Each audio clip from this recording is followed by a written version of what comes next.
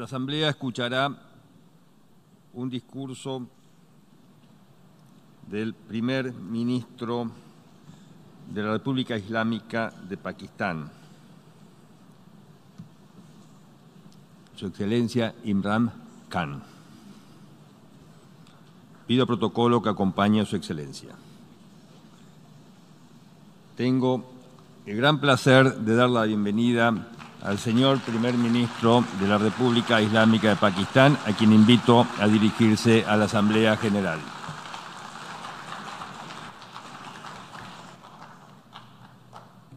بسم الله الرحمن الرحيم إياك نعبد وإياك نستعين Mr. President,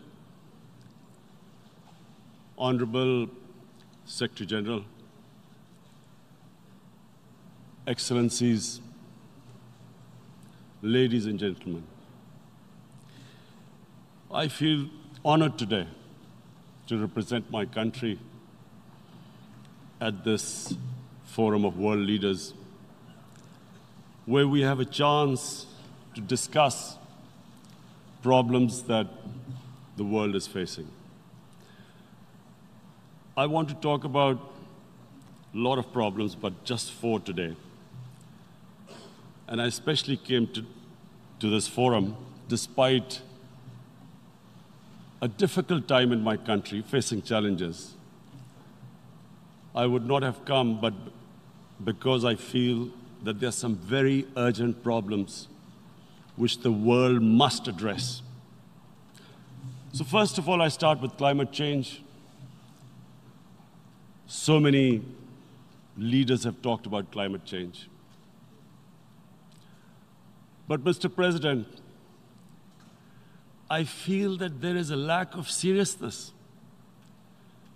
Perhaps world leaders do not, some of the leaders who can do a lot, do not realize the urgency of the situation. We have a lot of ideas, but as someone said, ideas without funding is mere hallucination. Pakistan, I'll give you an start with my own country. Our country is amongst the top 10 nations in the world which are most affected by climate change. We depend upon our rivers.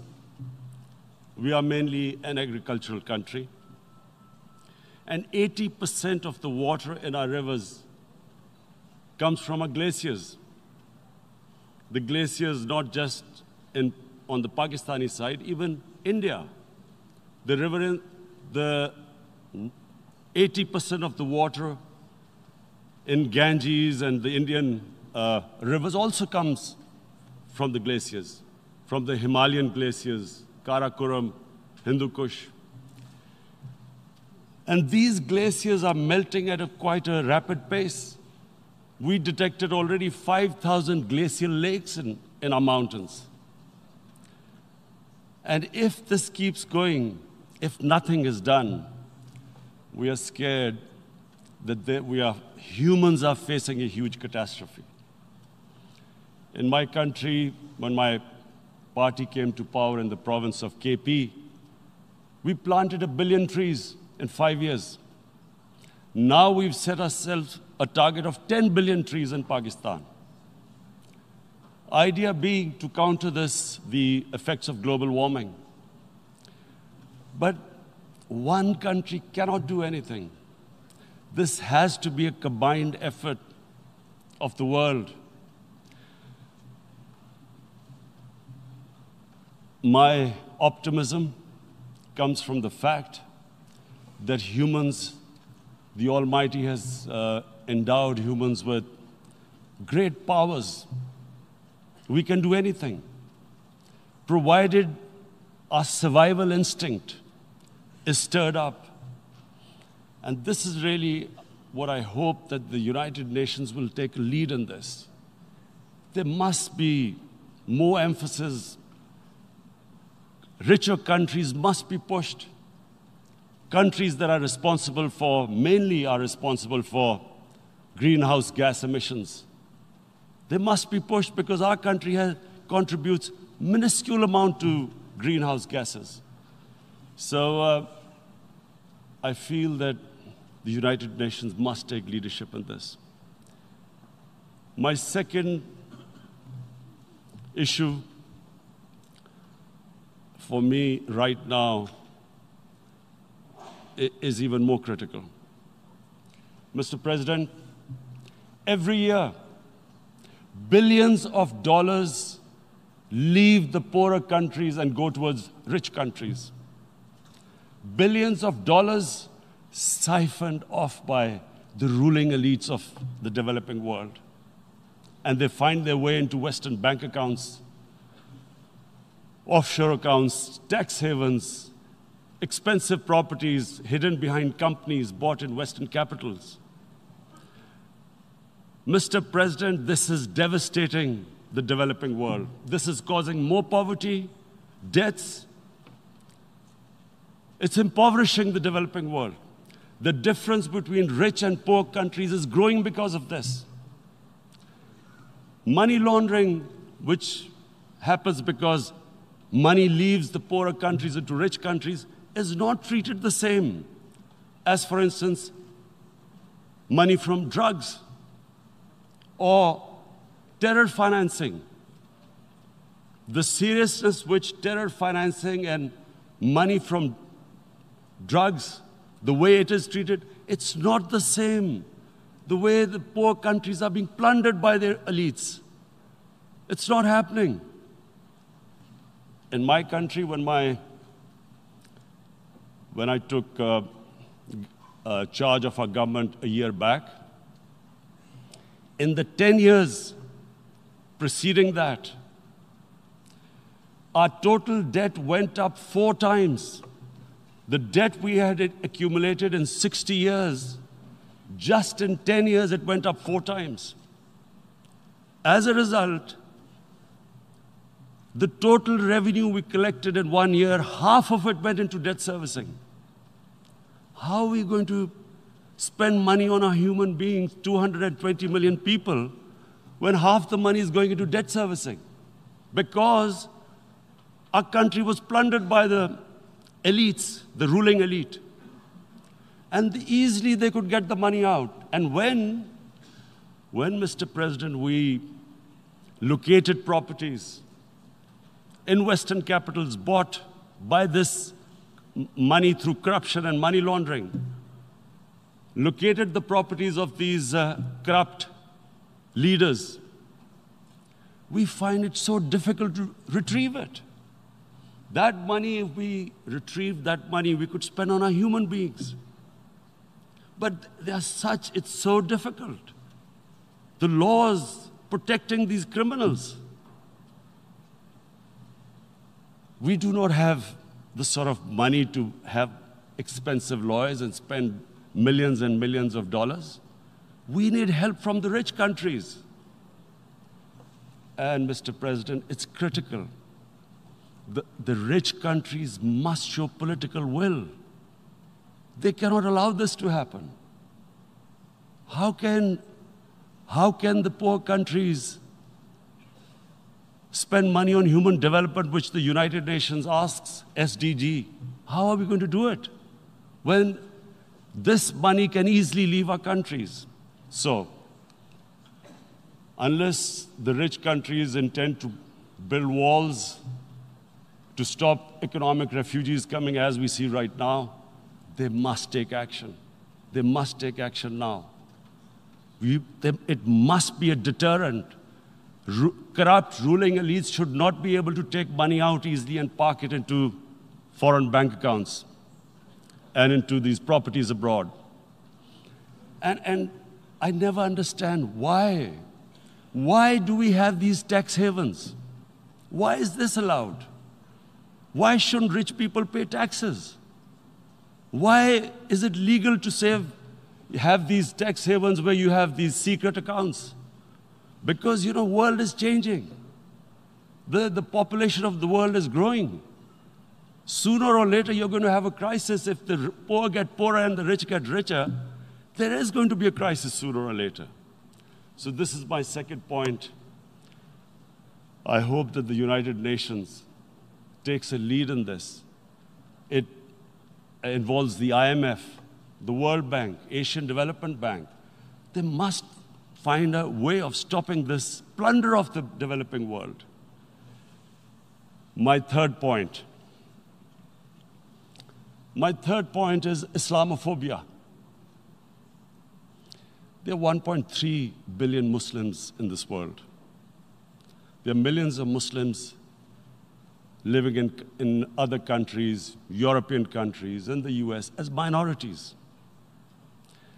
Islamophobia since 9 11 has, has grown at a pace where it is alarming.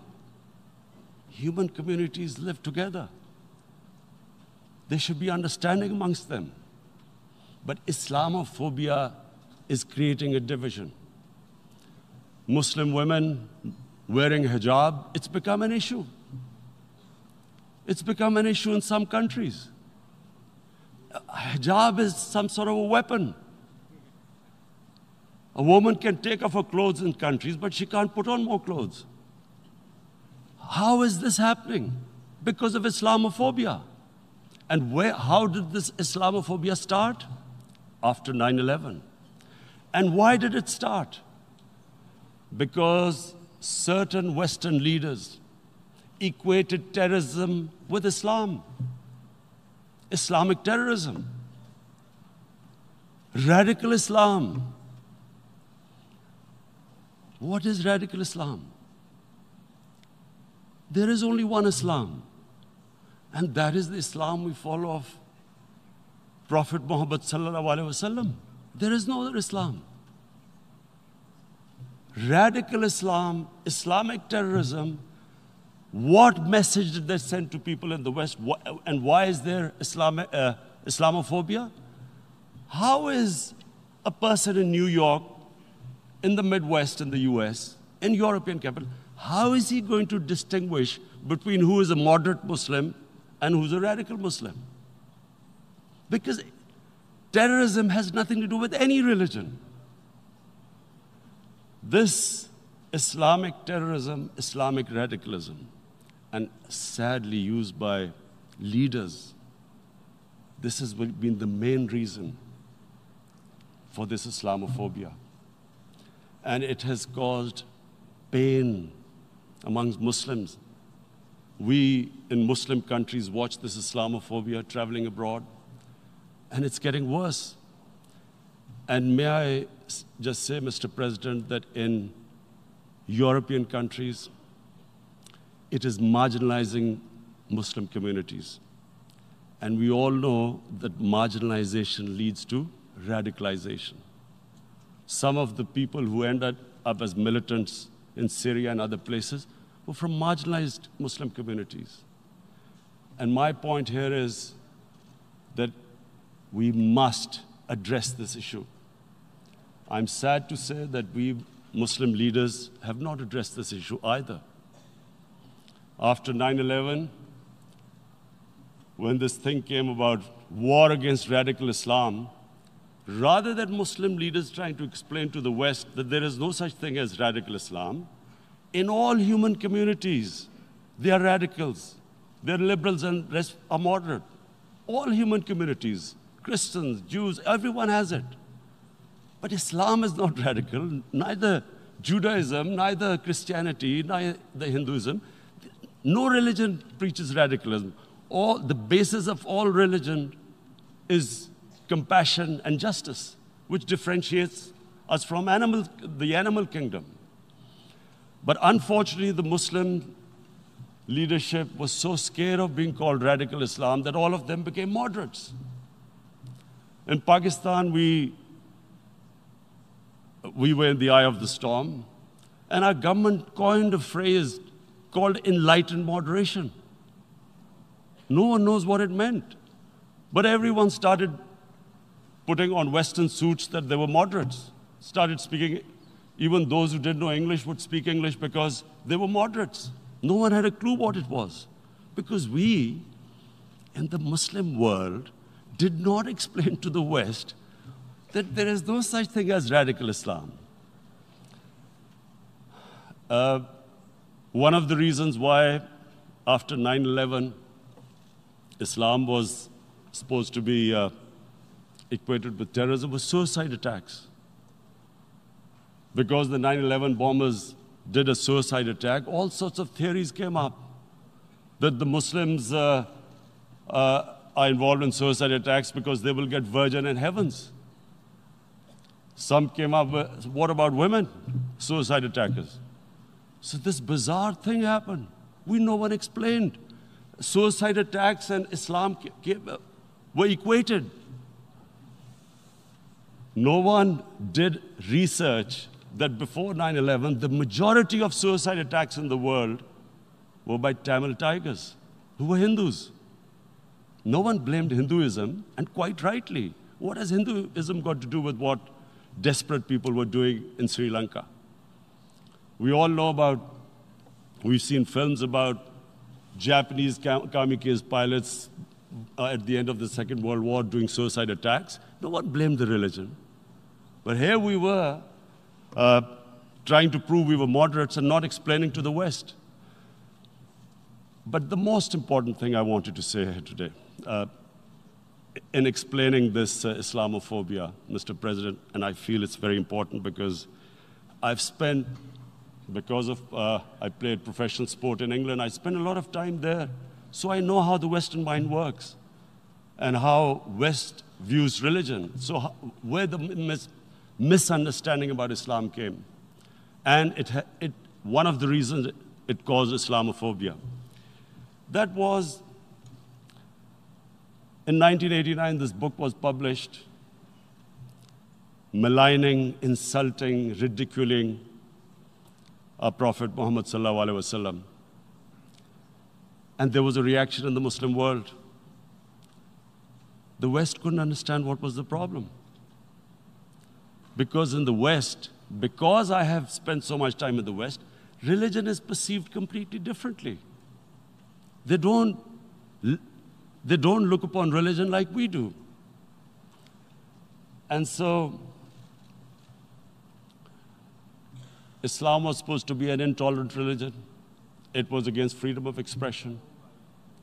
And Islam took a real beating 30 years ago. I still remember it became a watershed. And every two or three years, someone would malign our Prophet, peace be upon him. There would be a reaction by the Muslims. And again, it was Islam, an intolerant religion. Again, this time, I, I blame a certain section of the uh, people in the West who deliberately provoked this, knowing the impact it would have. But the majority of the people in the West didn't understand. This is where, again, Muslim leadership let the Muslims down. We should have explained to them what a prophet, peace be upon him, mean, means to us. So, in one minute, I'll try and explain what he means to us. A prophet was the witness to the divine book, the Holy Quran. The Holy Quran is the book of guidance for Muslims, and the Prophet's life was living the Quran. He was an example of what the Quran guided us to be. So, he is the ideal we all try to get to. The Prophet created the state of Medina, the first state in Islam. That state was the basis of a Muslim civilization which became the predominant civilization for the next 700 years. And what was that state? I hear such strange things about Islam that it is against women, it's against minorities. The first state of Islam in Medina, most, it was the first time a welfare state was set up. The state took responsibility of the weak, widows, orphans, poor people, handicapped. It taxed the rich, spent the money on the poor. The state announced that all human beings are children of Adam, hence equal, whatever the color of their skin. The state announced, the Prophet announced that, and slave, slavery, the whole system depended on slavery as it did for many years uh, in the Western societies. The Prophet said that one of the greatest deeds is to free a slave. But it, because the society depended on, on slavery, he said, but if, but if you have to treat them as an equal member of the family. And as a result, something happened in a Muslim world which hasn't happened in any other civilization. Slave dynasties appeared, slaves became kings. The Mamluks, slaves who became ruled Egypt. In India, there were slave dynasties. And then, with minorities, again, you hear that Islam in, uh, is supposed to be against minorities. Let me just make this clear. In Islam, the Prophet announced that everyone was free to practice his religion. It was a sacred duty to, to, uh, to, to protect the places of worship of all religions. He announced that every person is equal in front of law, whatever his religion or his color. And this, this incredible case, and I always quote this, that the fourth Khalifa, the head of state of Medina, he lost a case, a court case against a Jewish citizen. So, number one, it showed there was a rule of law, no one was above law. And number two, that a Jewish citizen was an equal citizen. So, Mr. President, when a Muslim society is unjust to its minorities, it is going against the religion of Islam and our Prophet, peace be upon him. So, it is important to understand this. The Prophet lives in our hearts. When he's ridiculed, when he's insulted, it hurts that as we human know, we human beings understand one thing the pain of the heart is far, far, far more hurtful than physical pain. And that's why the Muslims react. And I always thought that if I ever had the stage, I would try and explain this to, uh, to the world community, especially to the Western community, because having lived in the Western community, people didn't understand this. When I first went as a teenager to, uh, to England, there was a there was a comedy film on Jesus Christ. It's unthinkable in Muslim societies. So uh, we need to explain that look, in a human community, we must be sensitive to what causes pain to other human beings. We have, in the Western society, and quite rightly, the Holocaust is treated with sensitivity because it gives the Jewish community pain. That's all we ask. That when do not use freedom of speech to cause us pain by insulting a holy prophet. That's all we want. And now, the number fourth point, Mr. President, and this is the most critical point, is the reason why I especially came here. It is about what is happening in Kashmir. Before this, before I go on this, I want to make one thing clear that when we came to power, my first priority was that Pakistan would be a country which will, which will try its best to bring peace we had been through this war on terror. We joined the United States war on terror after 2001.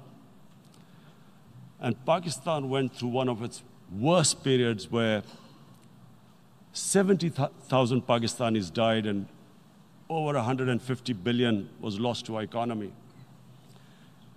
And Mr. President, I oppose the war because in the 80s, Pakistan had joined the Western countries in what was the freedom struggle then in Af Afghanistan against the Soviets. And it was funded by the Western countries. These mujahideen groups, which were treated in guerrilla warfare,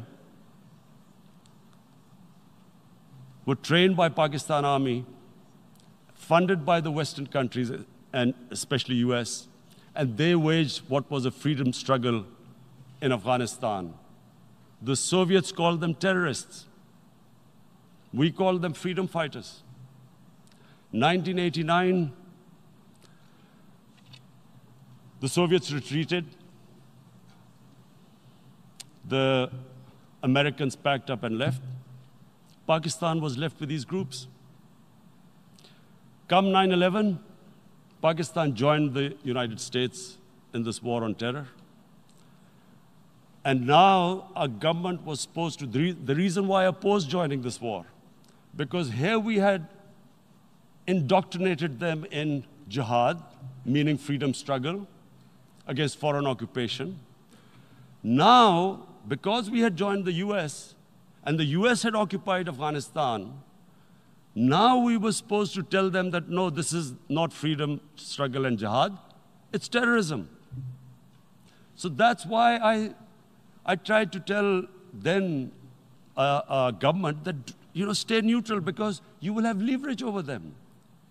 You will be able to control them. But if you join them, you become collaborators and they will attack you, which is what happened. They turned against us. We went through a nightmare. 70,000, 70,000 people killed in a war we had nothing to do with. No Pakistani was involved in 9 11.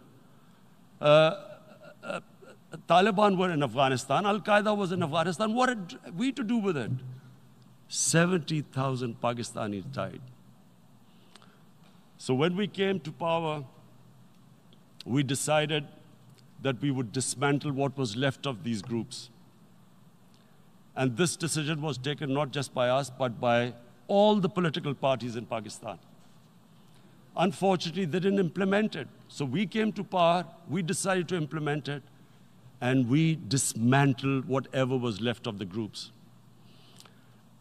And I know that India keeps accusing us that there are these groups there. I would like the United Nations to send observers, see for themselves what we've done. No Pakistani government would have dared to do this because it would have created strife. But we decided that there would be no militant organizations in Pakistan. So I need to give you this background and to what I'm going to say later on. And secondly, we started mending fences. I invited the Afghan president. We developed a relationship with, the, with Afghanistan. We had problems with Iran. We mended fences there. And then India. Now, let me just uh, give you a little background about my relationship with India. Because of cricket, and cricket being uh, one of the, it's a passion in the subcontinent. I had great following in India. I had great, I, I have friends in India. And I, I loved going to India. So immediately, when my party came to power, the first thing we did was to immediately reach out to India. And I spoke to President Modi and I said, look, we have similar problems climate change, poverty. Let's get together. Let's resolve our differences through trade. Let's build a relationship on trust. Prime Minister Modi told me that, you know, there were terrorist attacks from Pakistan. I said, we have problems with you. There are terrorist attacks which we know are instigated from, uh, by India in Balochistan. We caught a spy, Kulbhushan Yadav, who admitted what was what the sabotage going on in Karachi and Balochistan. So we said, look, let's leave that behind. Let's move forward. Our main priority should, should be our people. The highest number of poor people live in the Indian subcontinent. Unfortunately, didn't make any headways. Our foreign minister was supposed to meet on this uh, in the UNGA last year. India canceled it. We thought that it's their election coming up. It's a nationalist, ultra nationalist party. It doesn't want to cozy up to Pakistan. So we, we thought, okay, we'll wait till the elections. Meanwhile, a 20 year, year old Kashmiri boy whose father said was radicalized by the security forces in Kashmir blew himself up on an Indian convoy. Immediately, we, uh, India blamed us. I, I spoke to the Indian public on television. I said, if you give us any iota of uh, proof, we will immediately take action because we've clamped down on these groups. Rather than sending us any proofs, they sent their jets in, they bombed us. We retaliated. A jet, two of their planes were shot down, one pilot bailed out in Pakistan. We immediately ret returned the pilot, saying that, look, we do not want any escalation. Rather than taking that as a peace gesture, the entire campaign, almost the entire campaign of Mr. Modi in the election was how he had taught Pakistan a lesson that they had jets had killed 350 terrorists. Complete lie. They had just killed about 10 trees of ours, which was quite painful given that you know we are growing all these trees. Uh, he then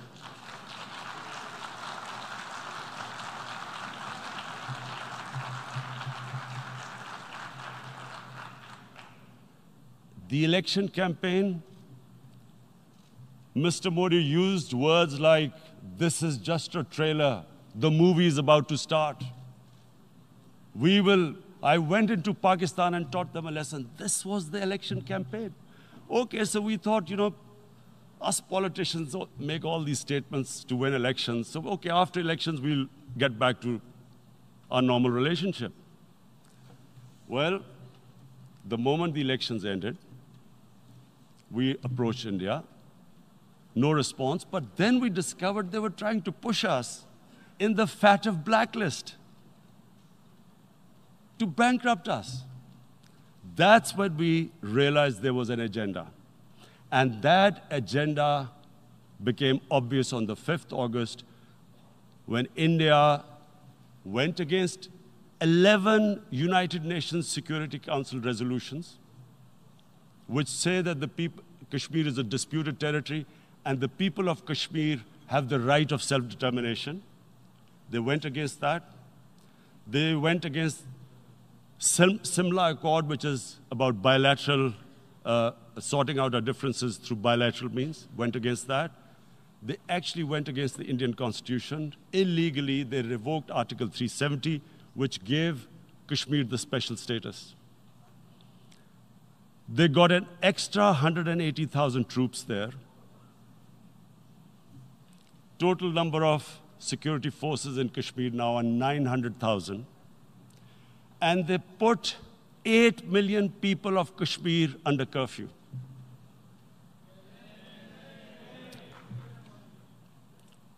Mr. President, now I just briefly want to make you, make the people understand how can anyone do something like this?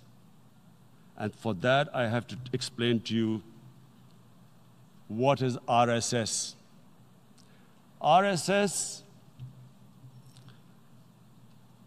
Mr. Narendra Modi is a life member of RSS. RSS was an organization that was inspired by Adolf Hitler and Mussolini, came about in 1925.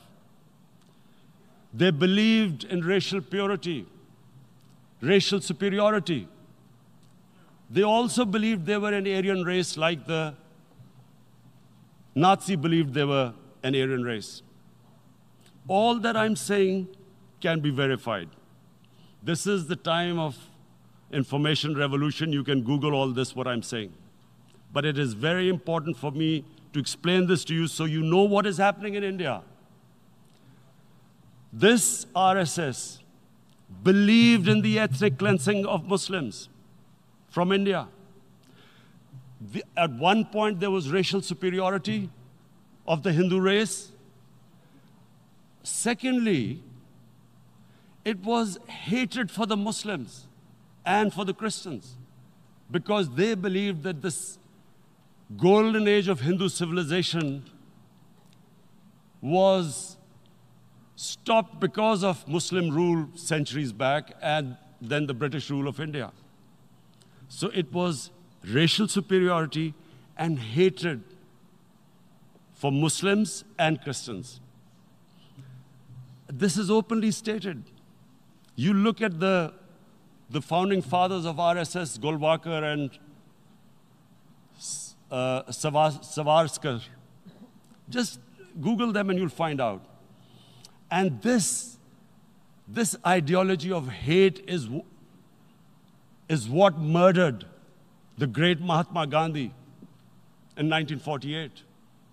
It was this ideology of hate that made Narendra Modi in 2002 do a pogrom against Muslims in Gujarat when he, he was the chief minister. He allowed three days for these RSS, these RSS goons who were inspired by the Hitler brown shirts. They actually wear brown shirts. The, this RSS, the previous, the Congress Home Minister, the Congress Home Minister gave a statement that in RSS camps, terrorists are being trained. And these terrorists butchered 2,000 Muslims and 150,000 Muslims were made homeless. Narendra Modi could not travel to the US because of that. And I need to make you understand this background before I explain to you that what sort of a mindset would lay siege to 8 million people with 900,000 troops? Women, children, sick people, locked in as animals. In fact, of what I know of England, if 8 million animals were locked in, uh, the RSPCA would have made a lot of noise about it. These are human beings.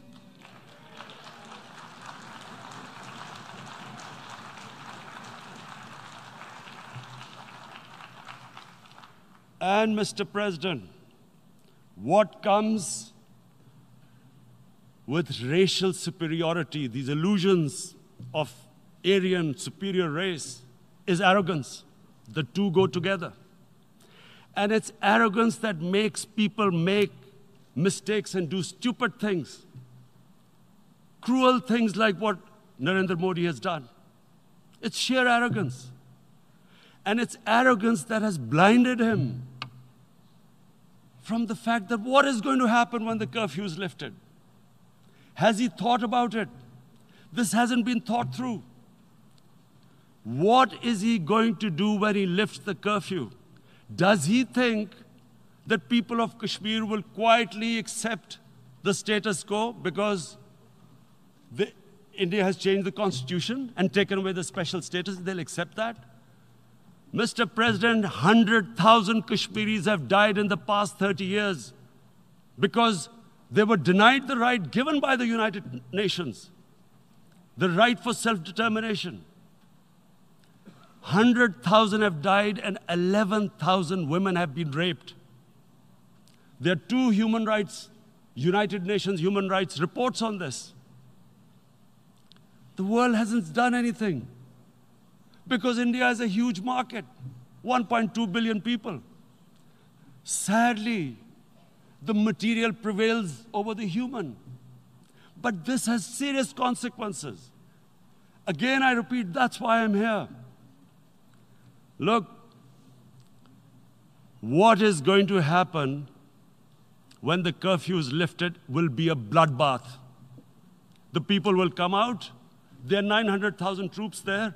They haven't come to, as Narendra Modi says, he's done this to for prosperity of Kashmir. This is supposed to be for the development. These 900,000 troops, what are they going to do when, the demo, when they come out? There'll be a bloodbath. Has he thought it through what happens then? Mr. President, has anyone thought that what happens when there is a bloodbath? What do you think the impact will have on people of Kashmir? What do you think they will think? The way they have been boxed in in their houses, treated like worse than animals, no rights. Thousands of all the political leadership have, has been arrested, taken out of Kashmir. Even those Kashmiri leaders who were pro India have been taken out. 13,000 boys have been picked up and taken to God knows which destinations. So, what do they think? What, what, what will the people of Kashmir do when they lift the curfew? They will be out in the streets. And what will these soldiers do? They will shoot them. They've already used pellet guns, blinded young boys. In the last six years, the, the five years, the oppression that has gone on in Kashmir. And so, Kashmiris will be further radicalized. Mr. President, there will be another Pulwama. And guess what? India will blame us. They're already blaming us. They're saying this, all this is happening because of Pakistan. One of their uh, defense ministers said there are 500 terrorists lined up on the border to go in. Why would Pakistan send 500 terrorists when there are 900,000 troops? They, what impact are they going to make? What will they do? And why would? Don't we know that the moment there is some terrorist attack, all that will happen is there'll be further cruelty and oppression of the people of Kashmir. We will just give the 900,000 troops to further crush the people of Kashmir. And then we'll give the Indian government an excuse that, look, Pakistan is a terrorist state, and this mantra that has gone on Islamic terrorism the moment you use this, this catchword, Islamic terrorism, the whole world turns away. No one talks about human rights. You can do whatever you want, which is what has happened in Kashmir because they keep using this word, Islamic terrorism. And this is what they're doing right now. What do we benefit from, from uh, uh, uh, further increasing the cruelty on the people of Kashmir? And, and, and why would we want this? But there is no other narrative left for India. As, as when they lift the curfew, whatever happens, Pakistan will be blamed, and there is always a danger of another Pulwama.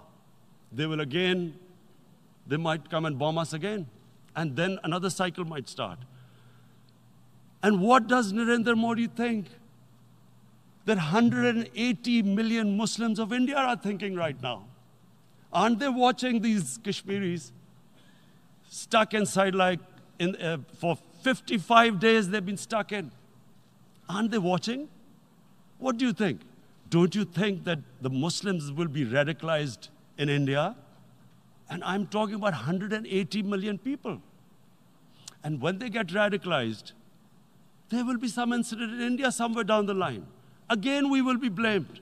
And I'm warning you right now, again, we will be blamed. And, Mr. President, what about 1.3 billion Muslims who are watching this? And they know that it is only happening in Kashmir because they're Kashmiri Muslims. This is not happening to Kashmiri Hindus. They know that this is happening because of their religion. So, what do you think they will be thinking? What do you think the Jewish community would think if, the, if they were, forget 8 million, 8,000 8, Jews stuck like this. What do you think Europeans would think? What, what do we think? I mean, any human community, if their members are stuck like that, what, what do you think they will think? Are we a, a children of a lesser God?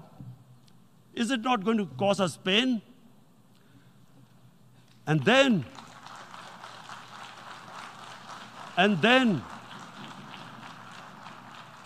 and then I'll tell you what will happen. People will, in the 1.3 billion Muslims, someone will pick up arms. I know we've been brought up with films, Western films. This good, decent guy doesn't get justice. he decides to pick up a gun and start seeking justice. There was a film made in New York, famous film called Death Wish. This guy gets mugged by his, uh, and his family, uh, his wife gets killed or something. He can't get justice. He pick, picks up a gun and he goes around shooting muggers. And the whole cinema cheers him on. So, what do you think the Muslims are thinking right now?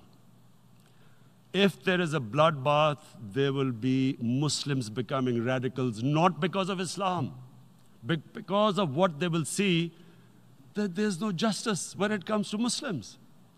There were Rohingya Muslims, Myanmar, who, was, who are, God knows, almost a million people out, ethnic cleansing. What was the response of the world community? So, what do you think will be the response of 1.3 billion Muslims? I picture myself. I'm in Kashmir. I've been locked up for 55 days. I have heard about, and there are rapes, Indian Army going into homes, soldiers. I, would I would I want to live this humiliation? Would I want to live like that? I would pick up a gun. You're forcing people. You are forcing people into radicalization. When people lose the will to live, what is there to live for? And this is what, if you can do this to human beings, you are actually radicalizing people. And so, uh, Mr. President, I I want to repeat here this is one of the most critical times. There will be a reaction to this. Pakistan will be blamed. Two nuclear armed countries will come face to face, like we came in February. And before we head in that direction, the United Nations has a responsibility. This is why.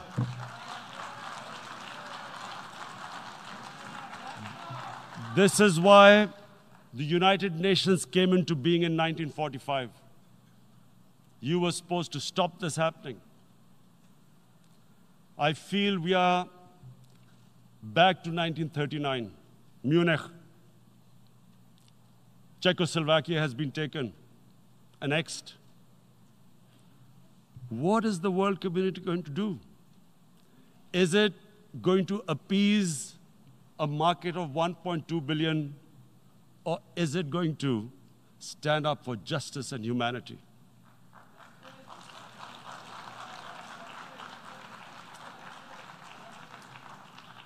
If, if this goes wrong, you hope for the best, but be prepared for the worst if a conventional war starts between the two countries, Mr. President, if a conventional war starts and could, anything could happen, but supposing a country seven times smaller than its neighbor is faced with the choice either you surrender or you fight for your freedom till death, what will we do? I ask myself this question. And my belief is, La ilaha illallah, there is no God but one. And we will fight. And when, and when, and when, and when a nuclear armed country fights to the end, it will have consequences far beyond the borders it will have consequences for the world, which is why I repeat I'm here. Because I'm warning you, it's not a threat, it's a fair worry that where are we headed? And it is, I've come here to tell the UN, you've got to, this is a test for the United Nations. You are the one who guaranteed the people of Kashmir the right of self determination. They are suffering because of that. And this is the time this is the time not to appease like in 1939 appeasement took place. This is the time to take action. And number one action must be that India must lift this inhuman curfew, which has lasted for 55 days. It must free. It must free all political prisoners, and especially those 13,000 boys that have been picked up. Parents don't know where they've disappeared. And then the world community must give the people of Kashmir the right of self determination. Thank you.